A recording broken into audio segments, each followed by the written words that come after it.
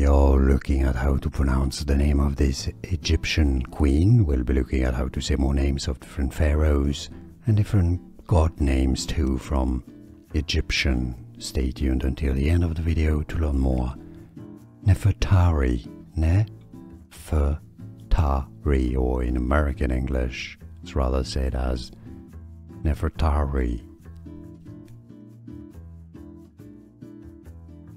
We are looking at how to pronounce the name of this Egyptian queen. We'll be looking at how to say more names of different pharaohs and different god names too from Egyptian. Stay tuned until the end of the video to learn more.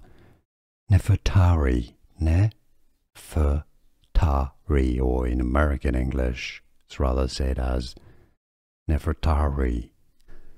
Here are more videos on how to pronounce more confusing words and names too many mispronounced. Like this video if you found it useful, I appreciate your support. I'll see you soon and thanks for watching.